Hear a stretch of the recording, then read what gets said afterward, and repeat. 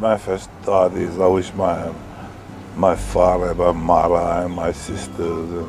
Well, basically, they're all they're all my idols. They're all role models. You know, it starts from Duke, and then you know it goes to Ben Aipa and to the Aikaus, and oh, you know, I was really surprised, and I was just uh, really proud to be a part of it.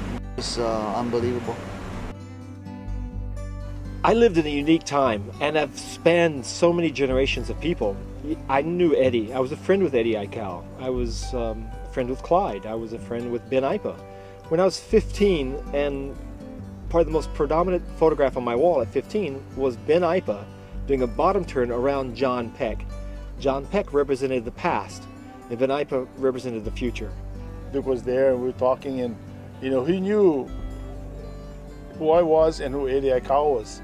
And he just he just mentioned to us guys, how come you guys not in this? That we told we're not uh, we're not recognized. You know? When Duke said, You guys are recognized in Hawaii next year. He got us in. Yeah.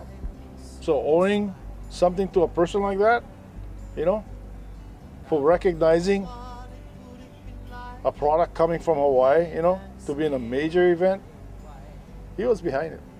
Yeah. Pelling out, the guy smiling on this huge wave of pelling out go, and he, I learned, okay, what he did, he smiled. He was enjoying taking off on his lip launcher, you know. So go, okay, I can do that, you know. I can, I can get that feeling. Boom. I grasped on I grasped onto it and was part of my my approach. Oh yeah. Buffalo, I think of Macaw and his great love for the sport and his for his family and for all the for all the people on the west side.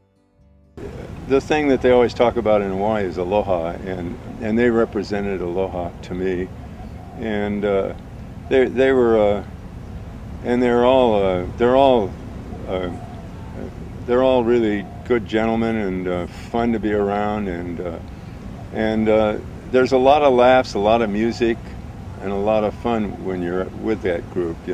Buffalo's family is real nice, Momi and Brian and Rusty and all the kids. And, and uh, they, they're, they're sort of a uh, landmark there on the, on the Makaha side.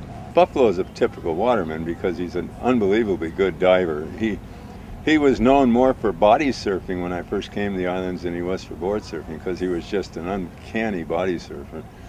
And then uh, as a board surfer, he was ambidextrous. He could switch stances just with no problem. He's just natural athlete. We are people from the Pacific, you know what I mean? We- We're ocean people. When you talk about the Ho brothers, you always have to remember that Michael was one of the most predominant people at Pipeline. The early backside guys that actually would, you know, grab a rail and pull in backside long before, you know, pig dogging as it's known today was ever created. When Derek matured as a surfer, he was the first guy that I actually saw do major floaters. And he was way ahead of the curve. He was doing floaters before anybody else was doing floaters, even before Kelly was doing floaters. The Hoes were very creative and very advanced. Clyde Aikau uh, and I were friends, but we were also similar in age, and we were a very similar rivalry. We were both trying to, you know, accomplish uh, wins in the Duke contest or in some other surfing contest, and I think we were as much rivals as we were friends. Uh, we're much more friends now. Clyde is Hawaiian monarchy. He's regal. His position in surfing is what he represents. In 1973, I was fortunate to have been invited and I won the title of Duke Kahanamoku champion. Eddie was was uh, fortunate to have won the event in 1976. And he was named the Duke Kahanamoku champion. Uh, Eddie was very proud because he knew the Duke personally and he wanted to get his big win while the Duke was still alive, but it wasn't, uh, it wasn't in the cards. So in his big win in 1976, uh, he had won it. He had uh, given his win, dedicated his win to the Duke, uh, to his family, and to the Hawaiian people. Eddie Aikau, um, a mentor, uh, a guidance figure, a, a person with uh, integrity and dignity. I think of Waimea Bay, and I always think of Eddie Aikau. So you know, it's pretty simple. He was such a pure spirit. He really wanted everybody to get along better than they did. Well, for me, neither I call, yeah, because the guy was a Hawaiian. The guy was charging.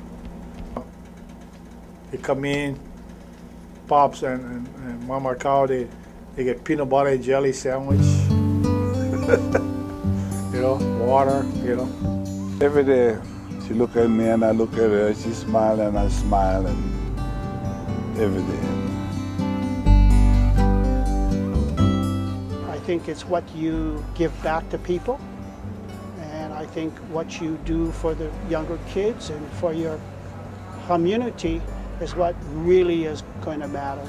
All the money in the world will come and go, fame and fortune will come and go, but uh, when that moment comes for you, you want to feel content, you want to feel satisfied. Um, and you want to be at ease with yourself, within yourself, from your heart and your spirit and your soul.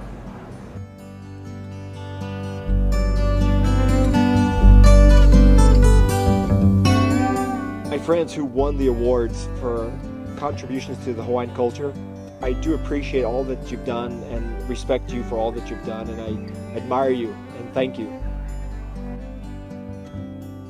Be happy, and um, a hui hou, and aloha all you guys. Aloha.